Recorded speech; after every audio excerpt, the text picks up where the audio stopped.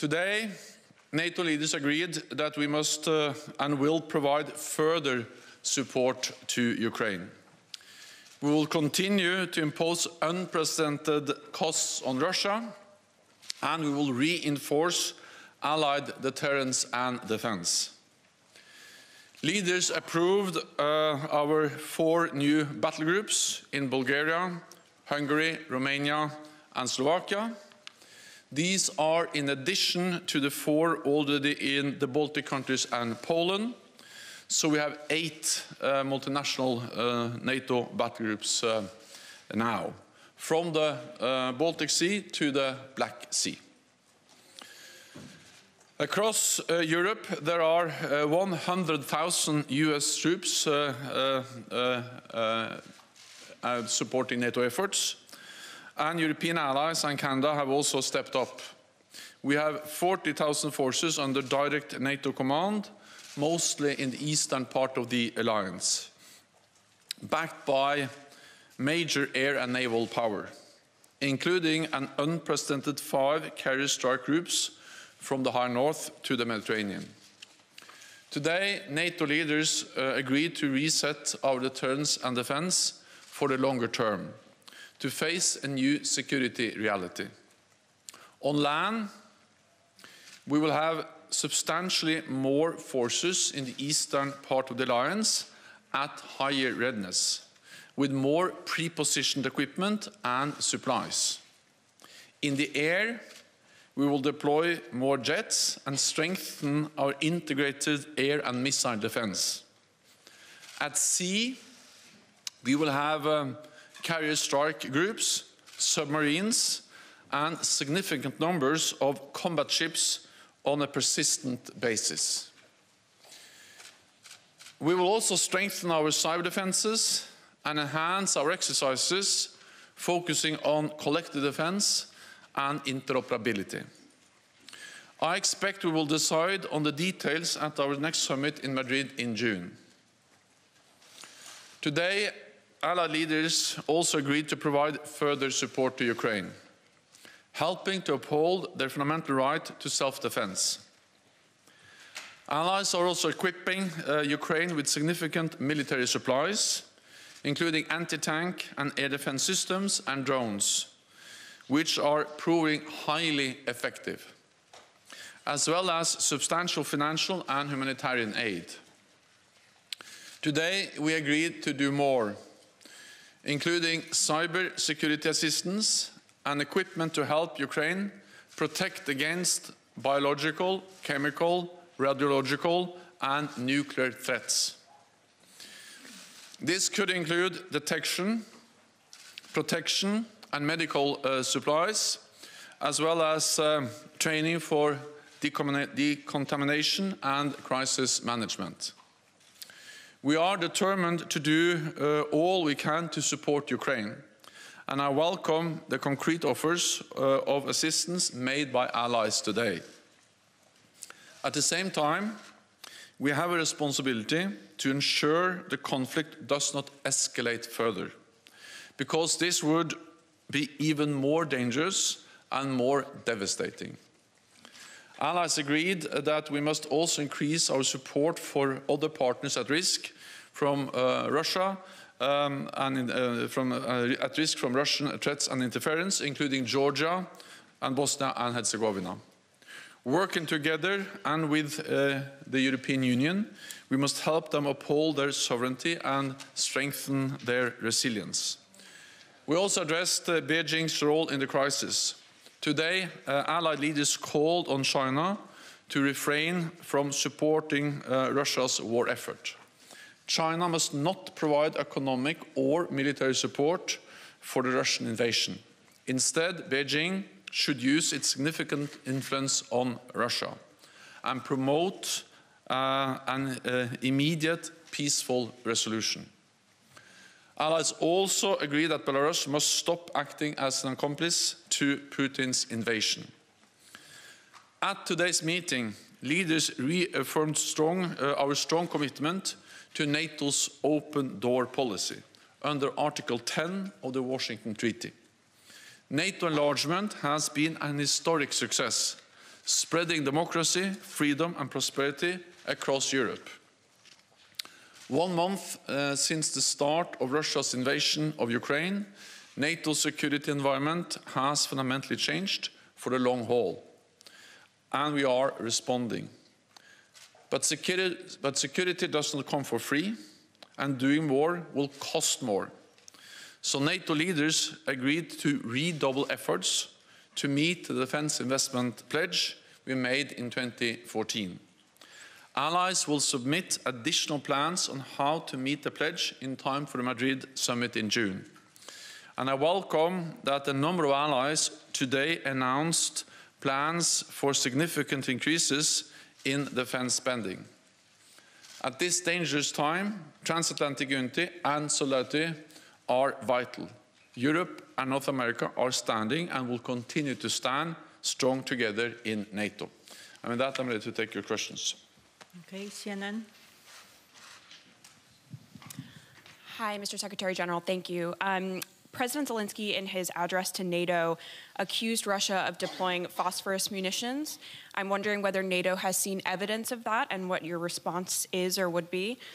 And then I'm wondering, did you discuss during this meeting a permanent basing of forces in any of these countries, such as the Baltics, um, and abandoning the NATO Russia Founding Act? So we are resetting NATO's deterrence and defense for the long term. Uh, with more troops, uh, with uh, more air assets and more maritime capabilities. We have already increased our presence in the east, and today we decided on four new battle groups, and the leaders uh, agreed to task our military commanders to provide options uh, for uh, a long-term reset of our presence, our military posture in the eastern part of the alliance and across the whole alliance. Details will be then decided at uh, our summit uh, in June. But that comes on top of what we have already done.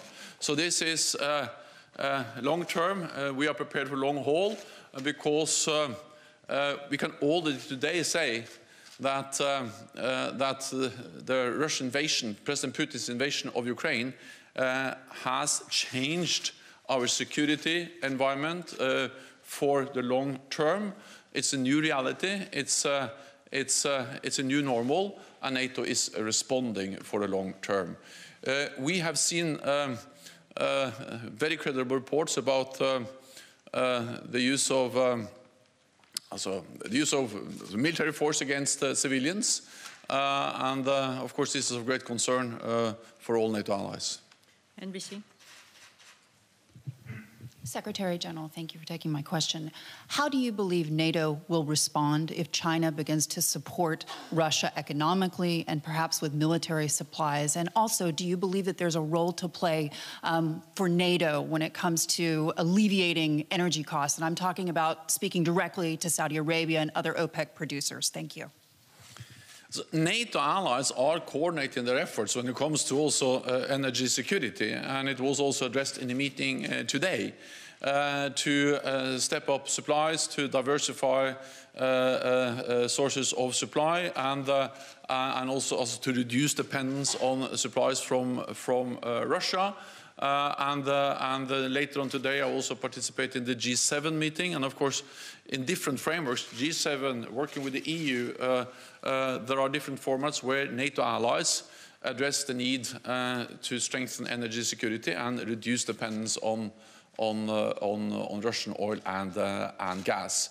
Uh, our message to China is that they should join the rest of the world uh, and clearly condemn uh, the brutal war uh, against uh, uh, Uh, Ukraine uh, and not support uh, Russia, neither with, with economic support or, of course, not with military support.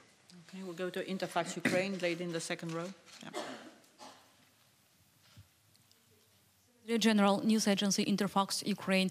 I would like to ask you if Polish leadership put at the table today for discussion the proposal to send peacekeeping mission to Ukraine, and if yes, what kind of discussion it was, and is there is some conclusion? Thank you.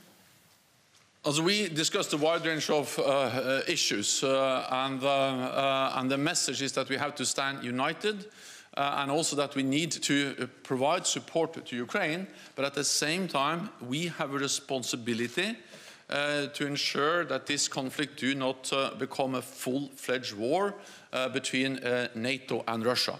And, and, that's also the reason why allies have it that we will not deploy troops on the ground in, in Ukraine, because the only way to do that is to be prepared to engage in full uh, conflict uh, with uh, Russian troops. Okay, Financial Times. Thank you very much, Secretary General. Congratulations on your uh, annual extension. Um, you said in the statement that allies agreed to enhance preparedness and readiness for chemical, biological, radiological, and nuclear threats. Is that based on credible intelligence that those threats could be imminent? And how does the alliance uh, strengthen its protection against those threats? Thank you. So we are concerned, um, partly because we see the rhetoric uh, and we see that Russia is uh, trying to create some kind of pretext accusing Ukraine, United States, NATO allies for preparing uh, to use uh, chemical and biological uh, weapons. And we have seen before that this uh, way of accusing others is actually a way to create, to create a pretext for do the same themselves. Uh, and, and, of course, the uh, accusations against Ukraine and NATO allies are absolutely false. Um, um, any use of chemical uh, weapons will um, uh, totally change the nature of the conflict. It will be a blatant violation of international uh, law, and um, uh, it will have widespread consequences and, of course, be extremely dangerous. Um, it will uh, affect the people in Ukraine, but there's also a risk that will have a direct effect on people living in NATO countries because uh, uh, we can see contamination, we can see the spread of um, chemical agents or uh, biological uh, weapons into our uh, countries. Um, we also know that Russia has used chemical agents against its own opposition, and they have used it on NATO territory in Salisbury before. And we also know that Russia has facilitated, supported uh, uh, the Assad regime in Syria uh, when they used chemical weapons against their own population. So this just highlights the importance of uh, ending this war immediately, because this is a dangerous situation. And therefore we impose the sanctions, therefore we support uh, Ukraine. Um, Allies agreed to supply equipment uh, to help Ukraine protect against uh, chemical, biological, radiological, and nuclear threats. Uh, this could include um, detection uh, equipment, uh, protection and medical support, as well as training for decontamination and crisis management. We are also enhancing allies' preparedness and readiness for chemical and biological and nuclear threats. Our top military commander, General Wolters, has activated NATO's chemical, biological, uh, radiological and nuclear defense elements, and allies are deploying additional chemical and biological and nuclear defenses to reinforce our existing and new battle groups. So we are taking measures both to support Ukraine and also to defend ourselves. Okay, we'll go to Al Jazeera. Secretary General James Bays from Al Jazeera. President Zelensky, when he addressed you, recalled the fact he first spoke to you a month ago, and he says he didn't get clear answers. So this time he asked you specifically for 1% of all your tanks, for 1% of all your aircraft, for multi launch rocket systems, anti ship weapons, and means of air defense. A very specific list. What is your clear answer? We all listened very carefully to President Zelensky, and uh, many of the leaders in the room uh, have had contacts with him over these weeks. I also spoke with him, and, uh, and the Ukrainian defense minister participated in our defense ministerial meeting uh, last uh, week. Uh, we listened carefully, and of course, we took note of his very compassionate message to all NATO allies. NATO allies provide significant support to Ukraine. And we provide also lethal weapons, advanced systems, uh, and also systems that help them to shoot down planes and uh, uh, attack uh, battle tanks with anti-tank weapons and many other types of, of systems, including drones. I will not go into the details of the exact type of systems we are deploying. There's close contact between NATO allies and Ukraine. But what I can say is that allies do what they can to support Ukraine with weapons so Ukraine can defend themselves. Uh, Self-defense is a right enshrined in the UN Charter.